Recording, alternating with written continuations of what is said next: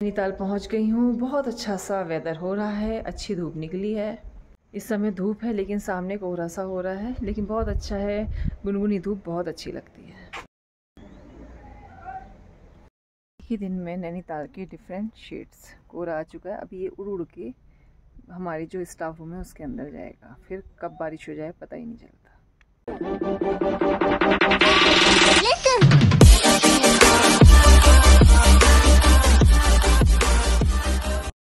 Hello friends मैं आपकी दोस्त दीपिका, उत्तराखंड से। इस समय नैनीताल में बहुत अच्छा मौसम हो रहा है, बहुत अच्छी धूप निकली हुई है, लेकिन ये मौसम दिन भर ऐसा बरकरार नहीं रहता है। अभी धूप है, थोड़ी देर में कोहरा सा होने लगेगा फिर उड़ने वाला कोहरा होगा, कभी बारिश भी हो जाती है। तो यहाँ पर डिफरेंट टाइप ऑफ़ वेदर रहता है। एक दिन में हमें मौसम के कई रंग देखने को मिलते हैं। बस आज मैं जल्दी पहुँच गई हूँ, बहुत अच्छी टैक्सी मिली और बहुत जल्द टाइम पे उन्होंने मुझे पहुँचा दिया। अभी कोई भी नहीं पहुँचा है। सबसे पहले मैं ही पहुँची हूँ तो मैंने कहा, चलो अपने ब्लॉग की स्टार्टिंग कर देती हूँ। बस आज शनिवार है। एक व्लॉग पहले आएगा ही, हो सकता है मंडे तक ही व्लॉग आए, हो सकता है कल आए। तो मैंने कहा, चलो स्टार्ट ही कर देती हूँ। और मम्मी जी की हेल्थ अपडेट ये है कि टीवी की दवाई नोटियाल जी ने एक शुरू कर दी थी, जो पहले भी उन्होंने खिलाई थी। और उनके पूरे शरीर में सूजन हो गई थी। और एलर्जी हो गई थी स्किन निकलने लगी थी, वही हाल फिर से हो गया। उनकी फिर से स्किन जो है निकलती जा रही है, बिल्कुल।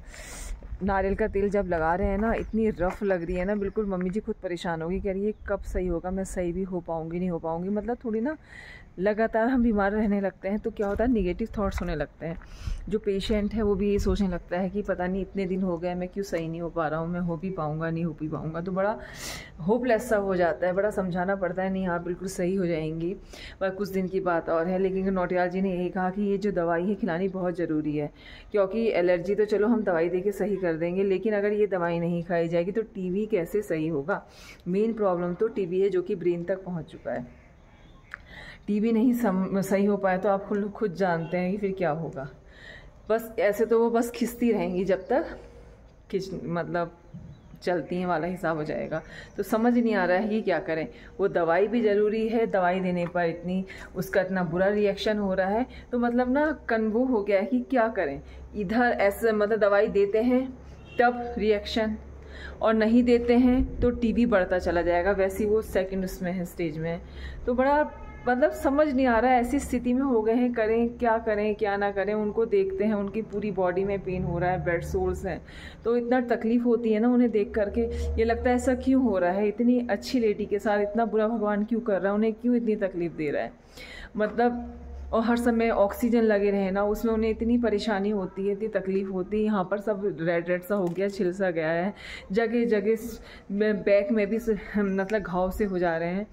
पूरी शरीर छिल रही है, जहाँ वो इचिंग कर रही खुजली कर रही वहीं पर छिल जा रहा है, वहीं ब्लड निकल जा रहा है। इतनी सेंसिटिव स्किन हो चुकी है कि जहाँ वो थोड़ा सा इचिंग कर रही हैं, वहाँ पर सब खांसी निकल जा रही है।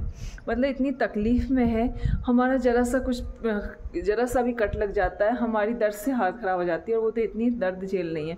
मेरे ही दो दिन से चसक जैसी कमर में पड़ गई, मेरी हालत ख़राब हो गई। ना उठा जा रहा था, ना बैठा जा रहा था। पेन किलर खा के, विक्स लगा के, बाम लगा के और वॉलिनी लगा रही थी, तब जाके मैं सो पा रही थी। वो भी ढंग से नींद नहीं आती, क्योंकि मम्मी जी को भी देखना होता है। एक जना रात भर जगता है तो मेरे हस्बैंड जगते हैं, मेरे ससुर जी, मेरी नंदे आई हुई हैं, वो जग रही हैं।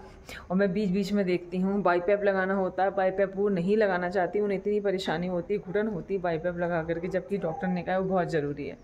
तो समझ नहीं आ रहा कि कैसे मम्मी जी की जो ये हालत हो रखी है, उसे उन्हें मुक्ति दिलाएँ, उन्हें कैसे सही करें, हम ऐसा क्या करें कि वो जल्दी से सही हो जाए। दो बस टेंशन टेंशन टेंशन ही हो रही है। बस यही बातें करनी थी आप, आपसे। अब थोड़ा सा मेरी भी कमर में दर्द है, मैं दवाई खाती हूँ। पापा जी ने मुझे दवाई दे दी थी, वही खा रही हूँ। फिर कल यहाँ पर दवाई लाना भूल गई थी तो मैंने दीपा दी है, उनसे मंगवाई दवाई। खालिद भाई उन्होंने खालिद भाई से मंगाई वो ले आए थे, फिर खाई, उससे बहुत रिलीफ मिला। वरना मैं स्कूल में भी ढंग से मतलब नहीं बैठ पा रही थी, इतनी मुझे बेचैनी हो गई थी, तकलीफ़ हो गई थी। तो बस यही बातें आपसे करनी थी। बस ये छोटा सा व्लॉग बनाया है। इसी के साथ मैं अपने वीडियो का एंड कर रही हूँ। फिर मिलती हूँ किसी नेक्स्ट वीडियो में। तब तक नमस्कार एंड बाय